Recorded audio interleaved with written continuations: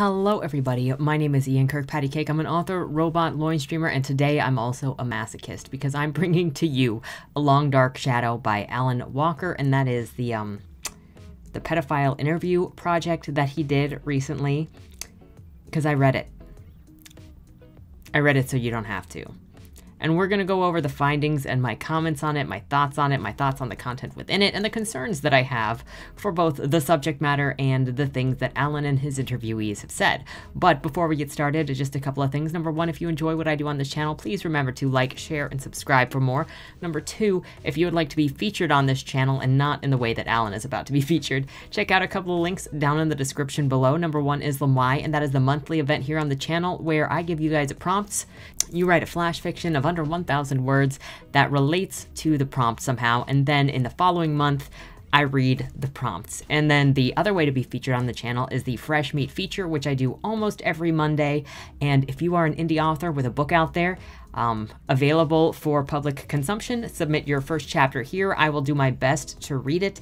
I am slowly upgrading my gear to hopefully read better and better and uh, to capture the quality of your guys' work. And so then submit it there. I pick the book randomly every time I read it. And then on Mondays, you can usually expect that video unless I was in a weird situation. And um, yeah, that's as far as I'm going to say with that. So, uh, the third thing is if you would like to read or roast any of my books, all of them are available at your favorite book retailers or at the library upon request. And even if you don't want to roast my books, please request them at your local libraries. It would help me out a whole ton. So, with that said, let's get into the disaster.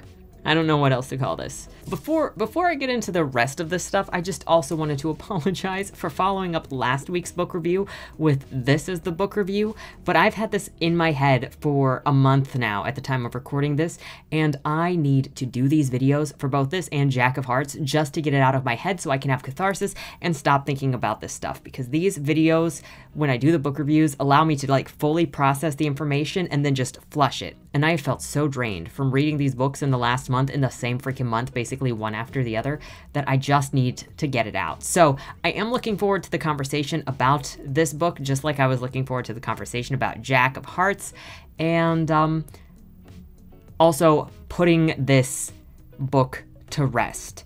So it's no longer in my brain. Okay, let's get into the book specifics. Obviously, I read a lot of things that I'm not going to enjoy for the re for for a couple of reasons. Um, in this case, I read Allyn Walker's work to hear his arguments from his mouth to better understand the things that he says publicly and what his allies say publicly. Allyn Walker, in case you didn't know, is somebody who became infamous a couple years ago for his um, defense of pedophilia that eventually got him booted from a job at a university. Fortunately enough for him, he was picked up by John Hopkins and hired for the child sex abuse division. And uh, considering his reputation, I don't necessarily think having somebody who is pro pedophilia for child abuse is that great of an idea. Now, hear me out on why I believe that Allyn Walker is specifically pro pedophilia. And um, before we really get into the meat of this book, because I know that Jeremy Malcolm is going to see this video, these are all just opinions and um, my thoughts and takeaways after reading Allyn Walker's book. I say that Jeremy Malcolm is going to probably find this because when I was posting just snapshots of thoughts while I was reading the book on Twitter, as a literal nobody, he showed up on my dash to uh, assume my opinions and my perspectives and my politics, name call me, and try to convert me to pedophilia defense. And when he realized he couldn't manipulate my feelings because I'm a robot, he pieced out.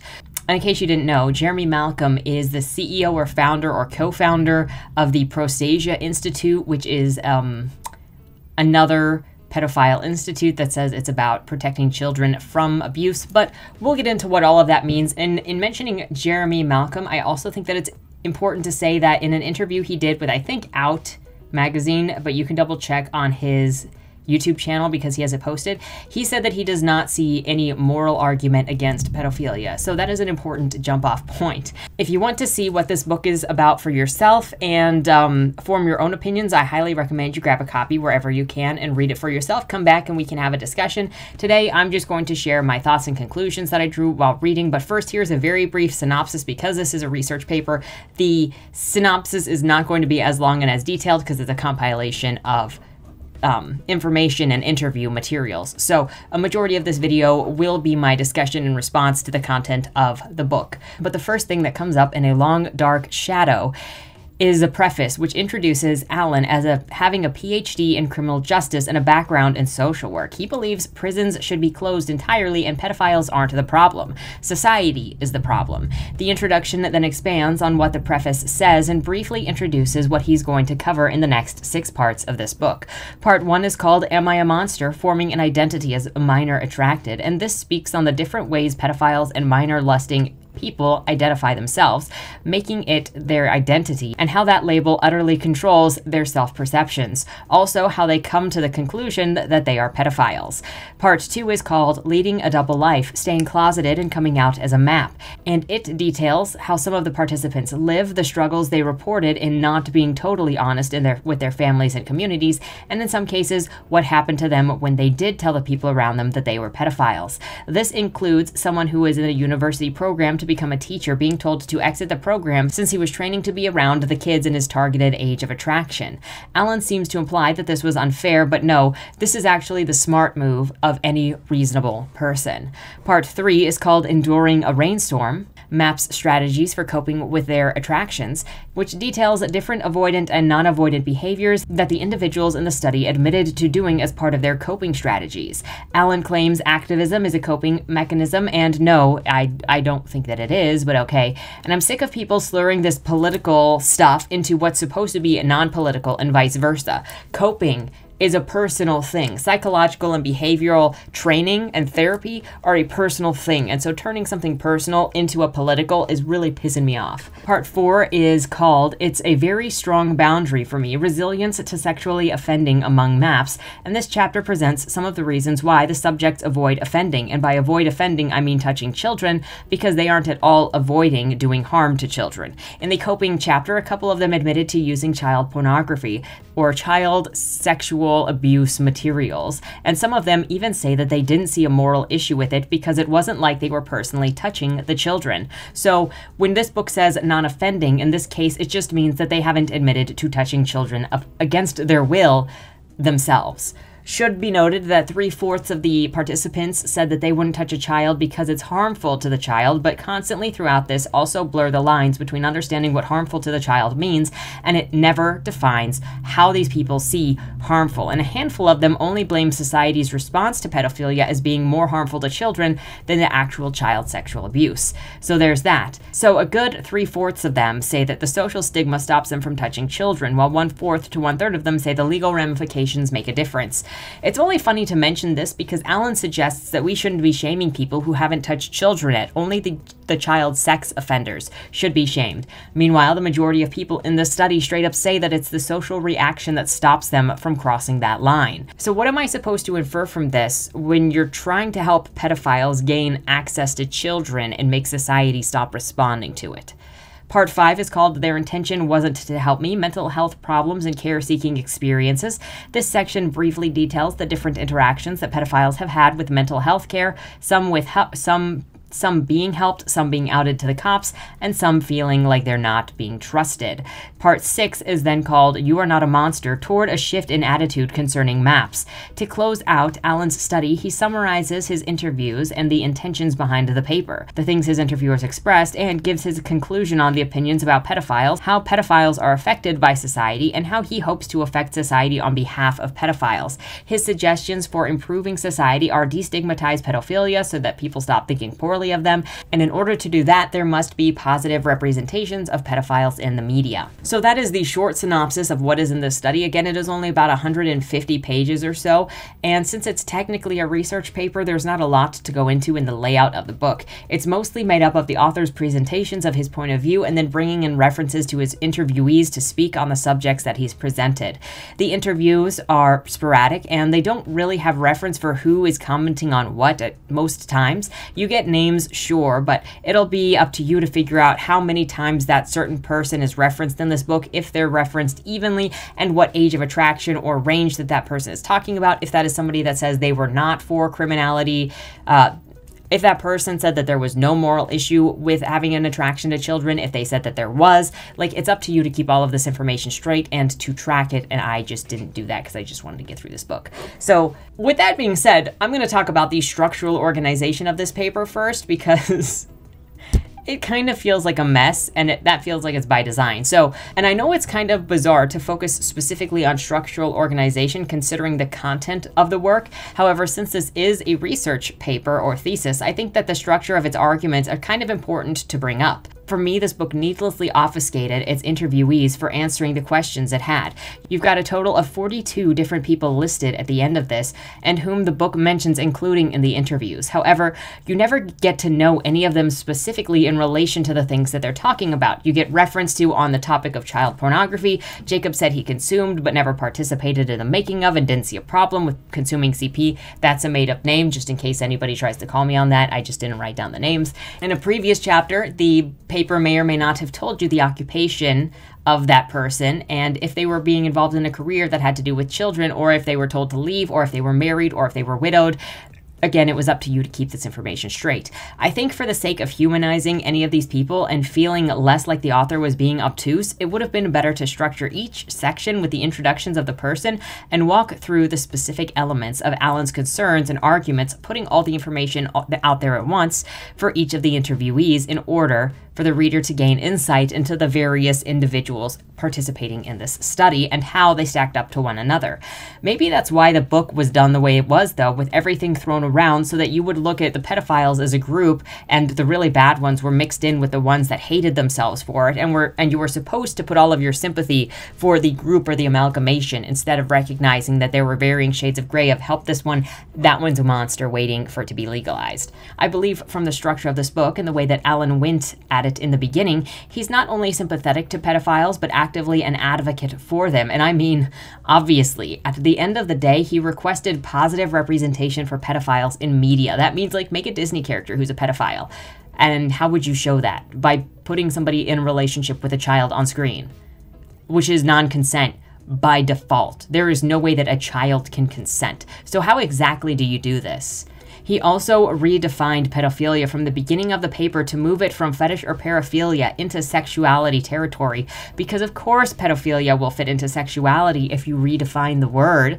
Allyn could have either introduced each individual interviewee in totality and then summarized the variations of opinions and experiences in the end, or he could have introduced them briefly and then went from one to the next so the reader for each of these separate occasions so that the reader could get to know them and separate them out from each other rather than think of them as one one individual group. There were many concerning things stated throughout by the pedophiles and Allyn Walker himself that would make you go, why are you advocating for this? And because this isn't science, this is pedophile activism pretending to be sociology, psychology, and victim advocating.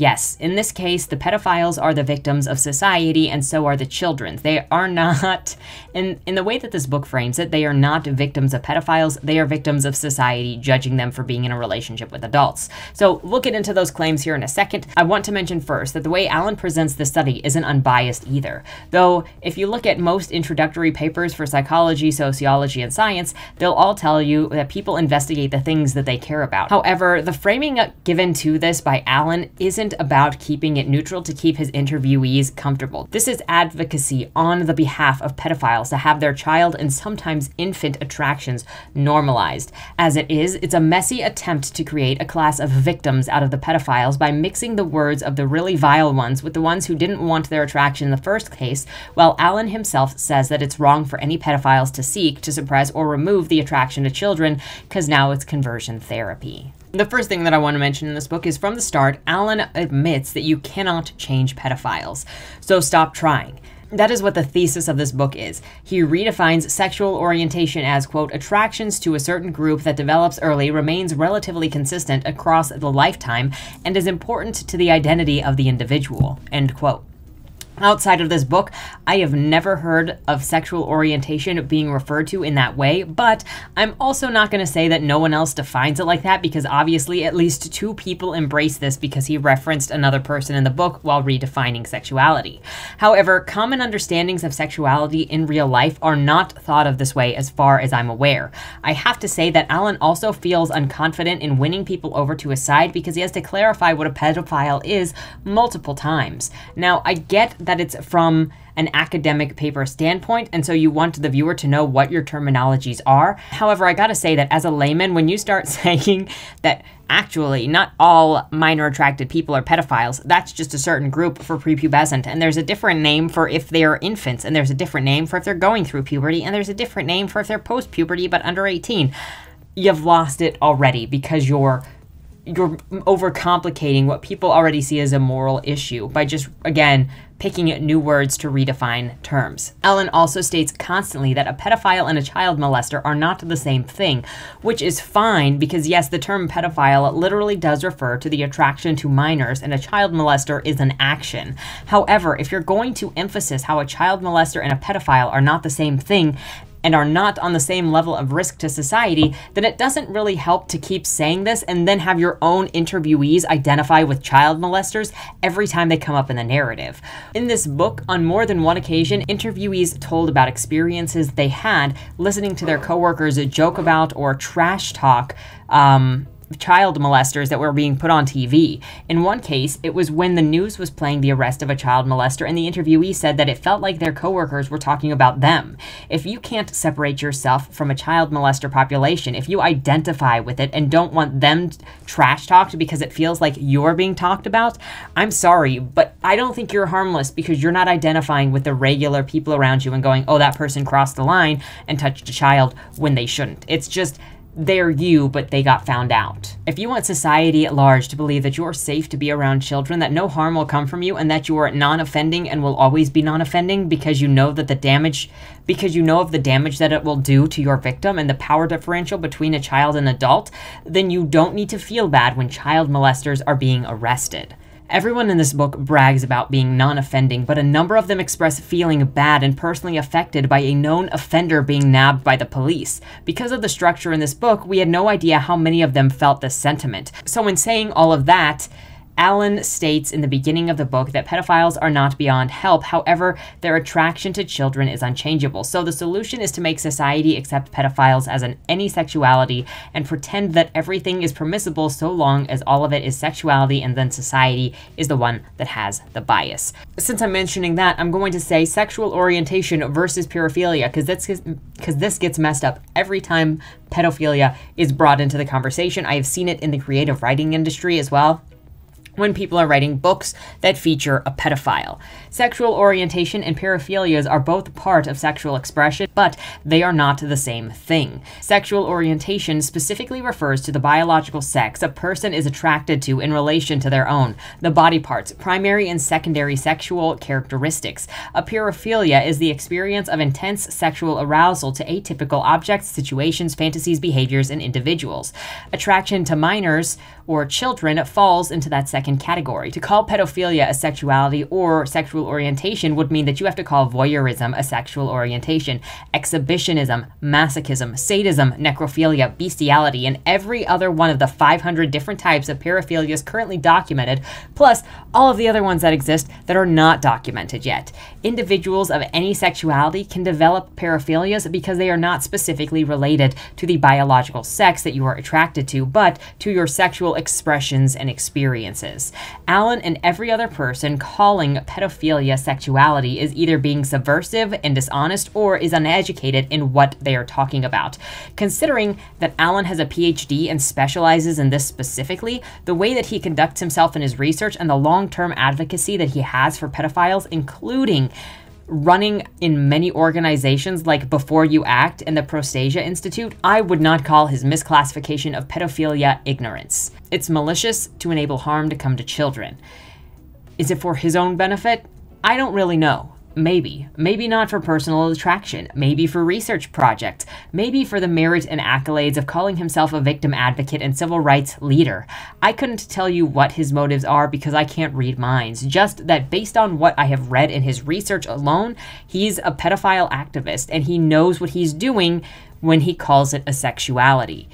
He's redefined the word specifically so that he could blur the lines into the category throughout the entire book, and also in the future of his career. Which leads me into the obfuscation through words, because that's a big thing with a lot of this stuff. I already mentioned how Allyn makes his books a mess in order to obfuscate the opinions and dangerousness of any of his subjects. He also does it by changing the definitions of words and then uses those words continuously. Like I said, one of those words is sexuality and sexual orientation. After redefining sexual orientation so that he can fit pedophilia into it, he describes any counseling to change it as immoral conversion therapy, which shows there is an agenda here. He is pro pedophilia, and all of his studies are pro pedophilia activism.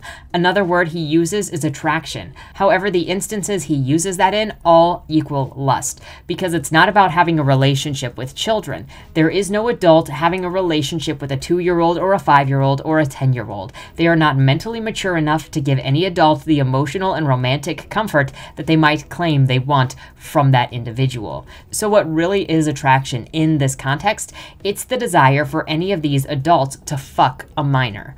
One of the interviewees in this book references the Bible and saying, The Bible says that if you've had attraction towards someone, it's the same as having sex with them. This is a notable quote because what the Bible actually says is if you've lusted for someone, then you have committed that sin. The fact that this person conflates attraction and lust tells you that he is not attracted to children and is using so many words to conflate what it is that he is actually saying. The use of attraction in this case is an attempt to make the phrasing more palatable to the layman, which is why I'm saying it outright. Otherwise, please, in the comments, inform me what kind of emotional and romantically fulfilling relationship can an adult have with a five year old? You say it's not just about sex sex, but tell me, have you talked to a five year old? Have you talked to a 13 year old? What kind of maturity or long lasting relationship do you think you are suggesting when you all outright say that you'll dump them when they outgrow their lusty age category that you are interested in?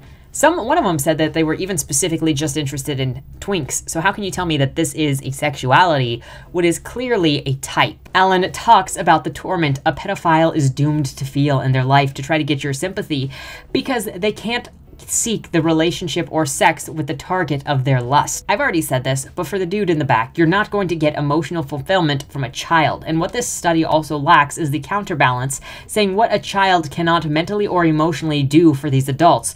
What is the source of these attractions, the power dynamics at play, anything? Because Allyn cannot honestly study pedophilia, or else it would show how deranged it is, and there is no justification for saying that it's fine, as Allyn does in this book. Your adult desire to be with a child so that you can rub your rocks off and ruin someone else's life is not a civil rights issue. It's not about forming a deep, meaningful relationship, and the interviewees in this book say as much when at least one of them admits, I'm dating this guy who is at the borderline borderline of what I'm attracted to age wise, and I'm bummed that I'm going to have to break up with him in a year or so when he's no longer in that age group. This isn't about love or anyone in this book claiming that it is. It's lying to your face for their sexual paraphilias so that they can use humans like sex toys, and that's the kind of thing that makes the depictions in Jack of Hearts even more disgusting. That book openly advocates for the dehumanization of other people and seeing them as nothing more than a dildo or a fleshlight. Who cares about the emotional damage done? Who cares about throwing humans away? They're just like a shoe, right? In case you didn't know, I just did a, a, book review for Jack of Hearts. It is a YA book. It is a book that is being voted out of a bunch of middle schools and possibly high schools right now, and possibly throwing um, drama inside of libraries, so go and check that out if you want more information on it. You listen to these people and their justifications they make for dehumanizing others, and they think that it's okay, and they think that you are the problem with society, which takes me to my next point. Allyn Walker and company blame society for all of the damage. So part four of this book is called It's a Very Strong Boundary for Me, Resilience to Sexually Offending Among Maps, where it outlines the reasons that hold the pedophiles back from molesting children. Throughout the book, Allyn and his interviewees say there is nothing morally, ethically, or psychologically wrong with having a child in relationship with an adult. According to Allyn, three-fourths of of his participants said that they didn't want to harm a child. However, while he spent time explaining what sexuality meant in his, the context of his book, he never described what harm meant. And then, when you listen to the interviewees, they constantly reference harming children as means of society as the biggest harm to children in the case of adult children relationships because of the backlash, because society can't handle it, because society will judge a child for being in a relationship with an adult. And so it's socially and emotionally damaging because of society and not because of the adult taking advantage of and raping that child. That is the argument that the book makes. With consideration how this book was made, either Allyn specifically crafted the bits of interviews that he shared or the interviewees kept it vague, but all that's mentioned as direct quotes on harming children is this nebulous, I don't want to harm them, and society isn't ready for it. Society would mistreat the child being in a relationship with an adult. Never do the interviewees or Allyn present statistical information about child sexual abuse victims and survivors. Never do any of them mention the physical, emotional, or psychological damage that is known to come from being abused sexually as children. Now, not only that, but none of them acknowledge the predatory nature that's just preying on minors. They try to claim that pedophilia isn't automatically predatory, but it is. From a developmental standpoint, the adults will always have the long-term advantage. Also, something that constantly gets lost in this conversation from the point of view of the pedophiles is that they claim they have no control or less control over themselves than the children have in the situation. And I've seen this perspective in books like Heather by G.C. Mackay, and while it makes plenty of sense that a predator might frame himself to be the victim for sympathy points and because their own head is messed up, any reasonable person who does not have a vested interest in the outcome of being let adults fuck children would realize and state that an adult is held to a higher sense of responsibility than a child. An adult has a responsibility to restrain themselves, to show self control, and to act appropriately around those younger and in sketchy situations. It is an emotionally and psychologically broken or twisted adult that says that they have less authority and autonomy over themselves than a child, in which case, why are you allowing somebody like this to try to determine policy and how society should be run? Additionally, Allyn and his interviewees never recognize that children can be coerced and manipulated via obvious naivety, positions of power, and trust, and that this would be considered predatory behavior and still rape. They only recognize legitimate legitimately forcing yourself on someone, on a child, when they say no and force has to be used. Moving on from the nebulous sense of harm, Allyn said that at least one third of his interviewees only didn't molest children because they feared legal consequences. When the two biggest reasons pedophiles don't go after children are both societal reasons, then his advocacy for normalizing pedophilia has a clearly stated result, enabling pedophiles to molest children without consequence. Based on what's stated in this book by the author and his interviewees, I honestly don't know how else I'm supposed to take any of this book. He tells pedophiles not to change. He tells society that pedophiles can't change. They're born this way. He tells society that it's immoral to tell pedophiles to restrain themselves and to work on their issues, and he shares that the major opinion of all of his interviewees is that society's opinion is holding pedophiles back and is abusive to them and to children. When the conclusion Allyn draws is destigmatize pedophilia, what else am I supposed to call this but openly advocating for pedophilia and child molestation? Finally, Allyn says that pedophilia is unchangeable because it's a sexuality. He argues that sexuality is inborn, which is why it's immoral to try to change it with pedophiles. However, he also clarifies later in this book that the attraction to children often centers around two types of occurrences. An individual experienced some form of adverse event in childhood or they want to go back to childhood in some way. Many of the participants in the study even admitted that their interest in children is related to societal ineptitude and intimidation by adults and a desire to escape the responsibilities and hardship of adulthood. If that is the case, then this isn't inborn. This is a social and developmental maladjustment. It's learned behavior, dysfunctional, and it can be fixed. You're not helping anyone by encouraging people not only to maintain damaging behavior, but then by encouraging damaging behavior to be embraced and forced upon others. So this section is called Isn't It Funny? because these were some observations and some things that came out of the book that I didn't know where else to put them. Number one, two specific organizations were brought up that work as pedophile resources. One of them is called Before You Act, and the other is called The Virtuous Pedophile. No, that is not satire. The Virtuous Pedophile is an offshoot from Before You Act because, according to Allyn, Before You Act refused to say that child adult relationships were immoral, and the Virtuous Pedophile believed that it was necessary to state the position that it was wrong. Again, tell me what that says about these people. Allyn also claims that one of his interviewees expressed having sexual experiences at the age of 12 with another 12 year old that he was in love with, and this formed his attraction to the age group that he has held onto into his older years. He considered his attraction at that same age with people of his same age to be pedophilia. He pulled it as an identity and took it with him as he grew up. Attraction to people your age is not pedophilia. And how is this 12 year old aware? Was this 12 year old aware? It felt like some retconning was going on with some of these people. Um, but this is a danger in making your sexual interest your entire identity. Not only this, but this author also attempted to equate hobbies and interests to specific age groups so that if you're 30 and you like Legos, well, Legos are for children, so mentally you might be 8 years old because you enjoy playing with Legos. So this means that you're probably justified in being attracted to 8 year olds, right?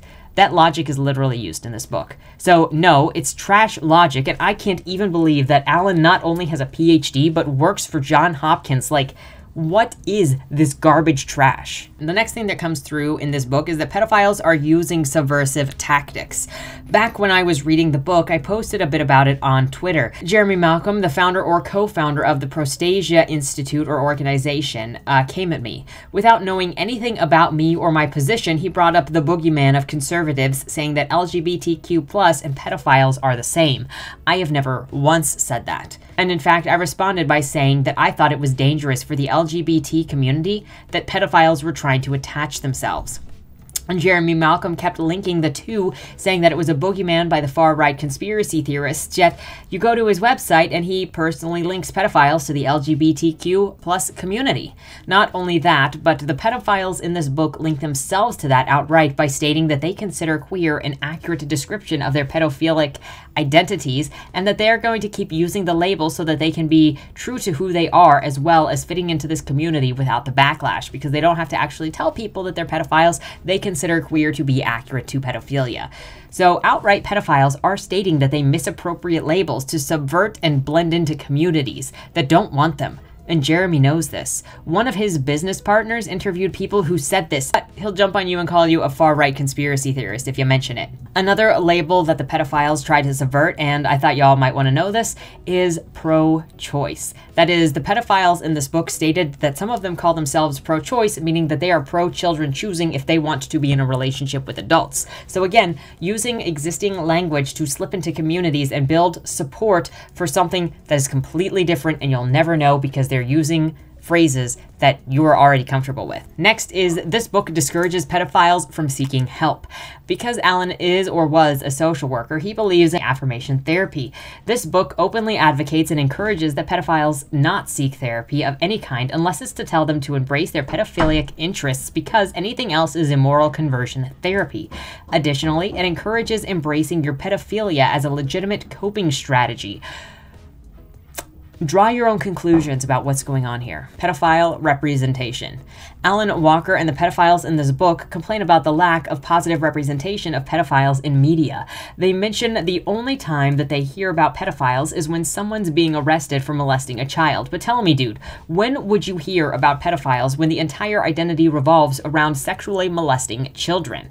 In chapter 3, as Allyn's outlining society's depiction and dislike of pedophiles, he shallowly states researchers found that people feel more fear and anger towards pedophiles than other groups frequently thought of as as objectionable, such as individuals who abuse alcohol, people with antisocial tendencies, and sexual sadists. Idiotically, Allyn doesn't go into why this statement exists the way that it does. You'd think it might be important to understanding and presentation to the audience as for why he might believe stigma against pedophiles is wrong. However, Allyn knows what the difference is between all of these different groups, so all he can say is, look, people dislike the pedophiles. They also dislike these other people over here. That's just society. They're basically the same thing, victims of social stigma.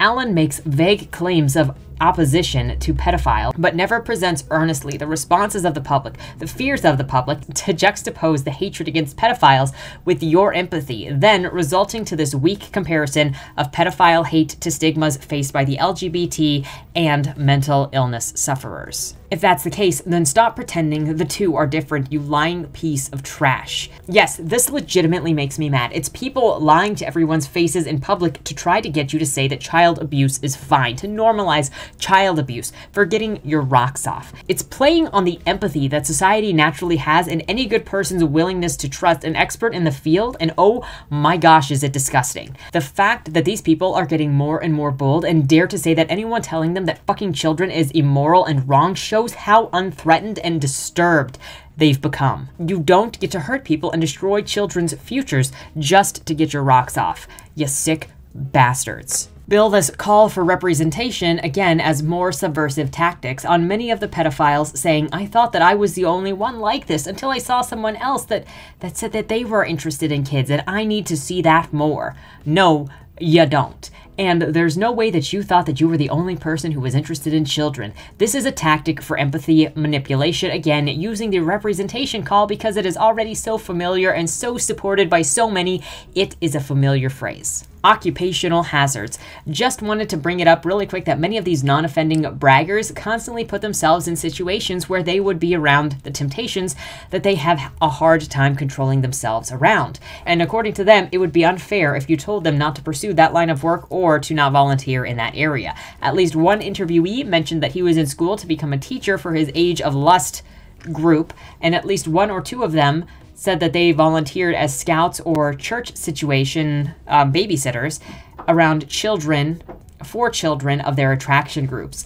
If you want to teach or volunteer, there are many, many ways to do so that don't put you out as a potential risk. You say that you're not a threat, yet you keep putting yourselves consistently in a predatory situation of trust, preparing for offending and getting away with it. Do you know how many teachers abuse children in school?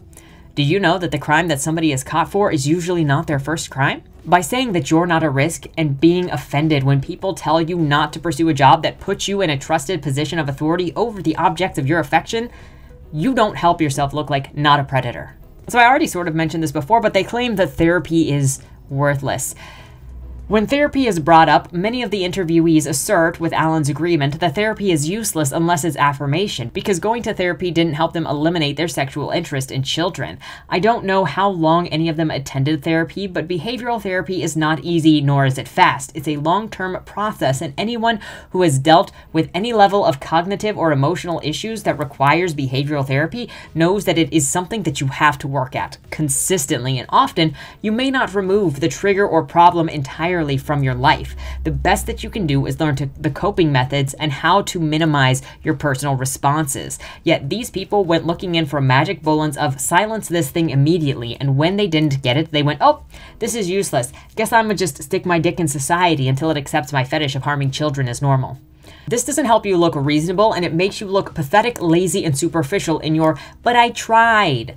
Mm. Again, long term behavioral change takes consistent effort and it's not easy what non offending really means. So, Allyn Walker claims that all 42 people in his study are non offending pedophiles, and by that, all he can promise is that they have told him that they haven't touched a child against their will, considering the implications and descriptions given in the study. It says nothing for coercion or lying to Allyn in order to get into the study, or even lying on Allyn's part in order to have more people for the study. However, at least a handful of them admit to having consumed legitimate child pornography as a coping mechanism. Some of them admit to being ashamed to have used it, while others say they see nothing wrong with using it or nothing immoral about creating it. According to a Sam Harris podcast that I recently listened to, where he interviewed Gabriel Dance, a specialist in sex crimes against children, back in 2007 there were fewer than 100,000 individual instances of child sexual abuse materials reported using online algorithm methods. In 2019, it was over 17 million. Gabriel Dance also stated that just seeing child sexual abuse materials in any way online is the only thing required in American law that you immediately report it because if you don't, it is a crime. So the fact that any of these participants were consumers of child sexual abuse materials meant that they were in fact offending pedophiles, not they they just weren't convicted. This alone deflates the entire argument that they are harmless to society. Bro, no, they're not. And y'all are propagating the abuse of children when you say that it's fine that they consume child pornography. So, this is something that keeps coming up. It's the obsession with talking about sex. I don't know why it keeps coming up. It came up in Jack of Hearts, it was in C.L. Carhart's books, and I'm sure that there's going to be much more of it in the stuff that I read in the future. Because I don't know why. But all that's standing out to me with this book and with these other books is exhibitionism and those that need to have their sexual preferences um, put out in front of others to be seen. I've noticed an uptick in people who cannot just live and do their thing on their own, but they need to tell others about their sexual interests and they need you to opine on it, specifically in affirming and positive ways, and maybe obsess about it with them. In Jack of Hearts, Jack was disappointed when he told his mother that he was gay and she just said, All right, son, here are some condoms, be safe. He wanted her to make a deal about it, good or bad. He just wanted something. This book has a number of people who feel like they need to tell their children that they had fantasies about fucking children. They needed to tell their partners when they were married. They needed to tell their families what their jack off material was.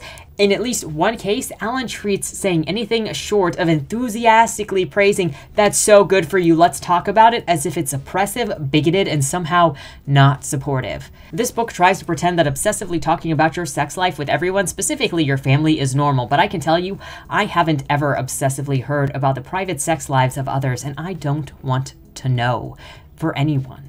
But legitimately, this book says Quote, after my participants disclosed, they recalled the conversations wouldn't come up again even after the initial comforting responses. End quote. But who is genuinely going around hmm. telling the entire world what their sexual interests are and constantly expecting the world to revolve around their sex lives? There was legitimately a section in this book that reads the person's family accepts them for their disclosures. They don't like that this person fantasizes about children, but they don't kick them out of the house and they still talk to them. They just don't want to talk about that person's interest in fucking children. And I do not understand how anybody thinks this is normal to be talking to your family constantly about your sexual interests. Again, I go back to Jack of Hearts, where I have never read a book more obsessed with sex, and I've legitimately read stuff that's marketed as smut, not YA LGBT. I need to take a poll right now in the comments how many of you watching this video consider telling your friends and family and having regular conversations in detail about your sex and sex lives and sexual interests interests and your sexual interests and your sexual fantasies.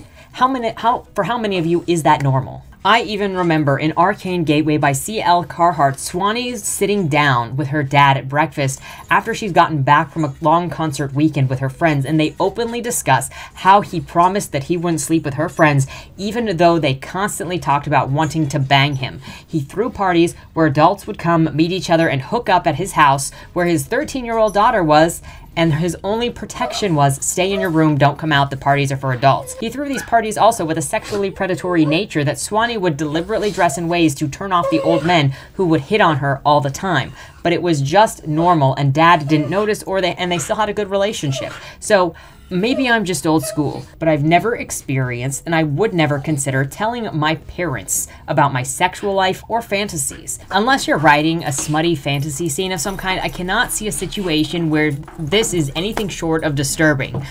But real life isn't equitable to fantasies. you may notice that my clothing changed. That's because I had to shoot this on two different days. So, the dubious sainthood of the interviewees. So, I mentioned this in my Amber Heard video about a storytelling mistake that she made during her testimony. Often, when someone is lying or trying to beef up their persona, the goodness of their persona, or the character that they're trying to play, they will avoid admitting to any amount of human fault that they may be weak to. In the case of this book and Amber Heard, it was never admitting that she could or that they could do any wrong in any of the instances that they were involved in or that she was involved in. So this plays into the interviews with the pedophiles as many of them take the hyperbolic road of I could never hurt a child and push on that really hard.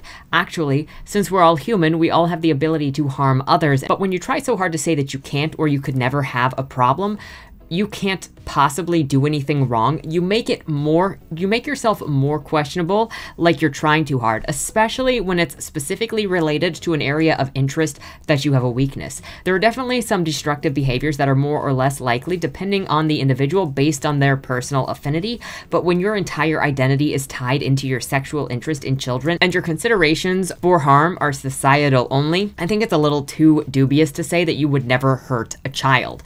Everything in your head literally revolves around children and child harm that you refuse to recognize, at least if the interviews in this book are anything to go off of. Also, a brief aside here is that this book tries to paint the image of everyone thinks pedophiles are these ugly, mean, monstrous old men, but no, it's just us, the normal looking Joe who doesn't look like a monster, tee hee, in order to mess with your perceptions and make you think more casually about pedophiles. Now, it is true that pedophiles can look like anything, they can be men or women, they can be monstrous looking or regular looking people or the guy with like the balding head like all of the the stereotypes could be true or it could be the opposite of the stereotypes. But there was some level of manipulation tactics going on here and yes again uh, dubious presentation. So, with everything that has been said, what are some genuine problem solving things that could be done in this situation with this population? The true fix for this issue is not wrapping your identity around who or what you want to have sex with. Recognize bad, dangerous, and immoral behavior, agree to change it. Behavioral therapy exists for a reason, and it is not easy. It's not a quick pill, it's not an instant fix, so you have to accept that there's going to be work involved, it's going to be uncomfortable, and you may never fully be resolved of that issue, but you have to accept substitutions. That's the word that I want. So saying embrace dangerous or bad behaviors that harms others is not helpful or caring. It's self-destructive and destructive to your society, to your peers, to your family and friends, and to the subjects of your lust in the case of children. Affirmation is not therapy. Telling people to stop shaming pedophiles who haven't touched children yet isn't helpful when almost all of them admit that it's the social stigma that stops them from touching kids. Pretending children aren't harmed so that you can get your rocks off is disgusting, and someone explained to me how anyone connected to the nastiness of this book is not pro fucking children. Kind of a weird way to end this review is improvements that could have been made with this book. Create the narrative. Humanize the interviewees by letting the reader get to know them straight, rather than obfuscating and mixing them around and confusing one for the other to make them more of an amalgamation of a blob and a cheap wordplay tricks where you intersperse words of justice and quotes and bias and oppression with pedophilia. Be honest about the harm that pedophilia causes. Show the pros and the cons. Show both sides of what it is that you're trying to, to express. And show both sides of this equation that you're trying to express. That is, why are people against pedophiles and who these pedophiles are? As you hide one side very specifically and only make vague references to unfair treatment, you look like you're hiding the truth of the damage done to children because of your sick agenda. And honestly, your agenda's right up in there. Uh, your subject's own words contradict their claims of harmlessness and your goals for society. For this sort of content, you need to take no stance and not tell society to lay off of pedophile shaming if you want anyone to trust you. With your own stance, bias, with your own biased stance inserted into all of the content, you give no reason for anyone to listen to your reasoning on any of this stuff, especially these sensitive type of subjects. This includes hiding statistics on child sexual abuse victims, never describing words that would be harmful to your argument, and never acknowledging the legitimacy of positions that oppose yours. It's lazy writing at best and diabolical manipulation at worst. Very quickly, who is Allyn Walker? This is just going to be a base section and like why I decided I needed to read this book to share it with you all. Allyn Walker is a social worker with a PhD in criminology who was also apparently surprised that when researching for this book and that when he was taking criminology courses and studying criminology, all of the pedophile information that he ran into was related to criminal offenders. Uh, that was included in the book, and also one of his reasons for why he needed to write this book is because not all pedophiles are criminals, but all of the information he ran into while studying criminology was criminal. So there's that. Allyn Walker gives more benefit of the doubt to self admitted pedophiles than psychologists, and while I don't think psychologists, sociologists, and scientists are completely right all the time, and we should constantly be questioning to keep everything above board, as that is the scientific method, the methodology for social workers, which is advocacy, which is that you just believe what they tell you and you fight for them, is not helpful for, for society when you're dealing with people with these sort of paraphilias that are dangerous to others.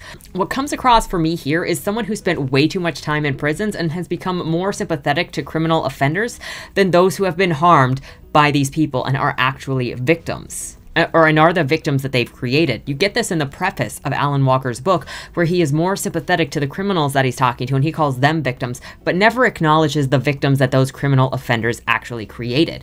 He says as much. Mm, now, I say all of this as someone who does believe that we need prison reforms because I don't think our prison systems are set up well, and they're not helping pretty much anyone as criminals are made worse while they're spending time in there, and many of them in there who want reformation or help have a hard time finding it. It's such a big topic, though, and I can't go into the minute minute details about any of it, and um, I don't have all of the answers either. It's going to take a discussion and a community to sort of fix the problems that are the freaking criminal justice system.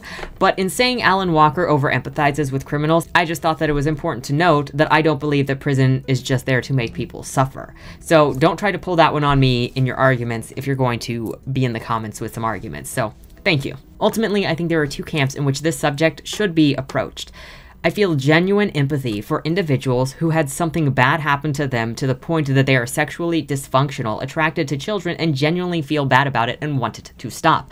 I especially feel bad for them if they go seeking help, and the only help they can find is somebody encouraging them to continue this destructive behavior that harmed them in the first place. If you're working through your issues to become a healthy adult seeking a healthy relationship, I wish you the best, and I don't have anything bad to say about you for trying to work through your problems. I do agree with Allyn that individuals who train to assist those with sexual dysfunction and relate weird relationships with their sexual stuff need to be prepared for when a pedophile comes in asking for help. And that being prepared does not mean encouraging them to indulge in the behavior and to encourage them to fantasize. That is not how you help somebody in this situation. There were a couple of instances in this book where the interviewees said they walked into a counseling session, they said what their issue was, and the counselor called the cops on them, or they were not prepared, or they were not given recommendations. And while not every psychologist can give recommendations of who to go to for specific sexual dysfunctions, I do think that psychologists who are trained specifically in sexual dysfunction do need to be prepared if somebody has not yet committed a crime. However, I also find it dubious because it is like there's this weird weird spot obviously because you are required as a psychologist that if you believe or a doctor if you believe somebody is causing harm or imminently to cause harm you have a requirement to report and in reading the interviews by these people in here uh it leaves a lot to be desired and makes you wonder if they're being dubious if they lied if they went into the the um, psychologist's office and admitted to harming children or admitted to having child pornography. And so then that is why the the doctors called the cops on them. Of course, they would never admit it because that is a crime. So there's so much to lose in being completely honest in this situation that I don't know how much you can actually trust the information given through this book. And we also know that at least a couple of them are criminal for having child pornography, and Allyn likely did not report any of them for having child pornography because he wants to maintain those relationships. So there is that. Now, on the other hand, if you are the subversive piece of trash who puts your entire value in your desire to fuck children, and you blame society for the fact that you can't diddle yourself good enough because it would require you to harm and destroy the lives of children, I will show you to the wall. Also, social workers are not therapists. Stop donning the title so that you can destroy people from the inside by encouraging destructive behaviors when others come for help. Because it is so disgusting. I have been victim to this as well, where it was just encouragement when I was distressed and I needed help, and you led me wrong and you diagnosed me wrong, and I got screwed over for it. And it sucks. So, stop doing this. Affirmation is not therapy. So, those are my thoughts on this, kind of generally composited because I had a lot of things I had to condense to make it fit into categories. Uh, the book is disturbing. It's a disturbing look at these people, especially if you think of the dubious nature and the things that they are not telling you, which are definitely uh, involved. But I highly recommend you read the study for yourself if you can stomach it and uh, come back and we can talk in the comments either about the content itself, anything mentioned before, and uh, any other societal issues that you may or may not see related to this thing. With that said, thank you so much for watching. Looking forward to your thoughts and the conversations down below. Sorry for the super long and super dark video, but now it is time to move on from this. We will see what my future book reviews hold. Also, oh, if you want me to check out any um, books like this or like Jack of Hearts or there's any other weird or disturbing books that you would like the DL on, um, in the way that I give book reviews and analysis, let me know in the comments down below or email me and I will take a look at possibly reading them and presenting what I can't, what, uh, what my findings are. So this is my gift to the community, even though the community never asked for it. Yeah, so with that said, thank you so much for watching. Have a great weekend and don't die. Hello, boomers! My name is Yanananana. In case you didn't know, I'm a YouTuber from Nide, a small town in eastern Ukraine. My family has never really understood what I do in the woods, but all I've ever wanted is to make a better life for us all. Papa always comes home from the mines angry, dirty, and tired. It's a necessary evil to do your job and be in a place that you don't want to be. But I've never wanted to spend my life doing exactly what was necessary of me. Yanni, there's someone here to see you. Americans. Americans? Yeah. Good morning. My name is Tom Cruise. This is my partner Bob Dylan, and we are big fans of your work. You're a couple of boomers. Actually, I'm a Gen Xer, but I digress. We'd like to sponsor you. Sponsor?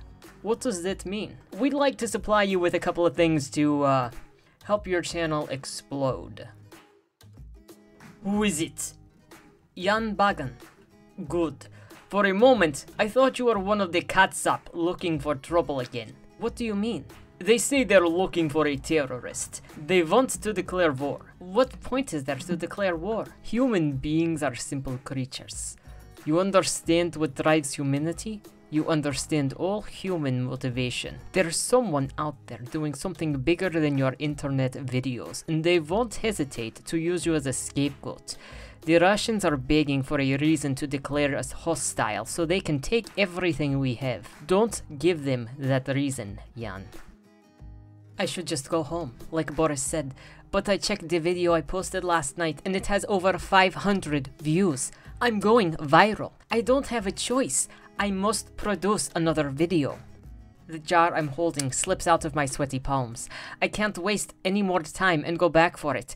I grab my tripod saying sorry, sorry, sorry while I keep moving. The jar explodes. I'm deafened by something so loud and powerful it seems unreal. Jan, did you see that? Where the hell have you been? You mean the explosion? Yes. That was me. You needed to not do this today. You don't understand, Alex. I had to do it. I had to get the views. You're going to get yourself killed, Jan. No, no, no. They're looking for a terrorist. And how do you look different than a terrorist? I'm not trying to hurt people. Ignorance of war will not stop bullet from straying into your head.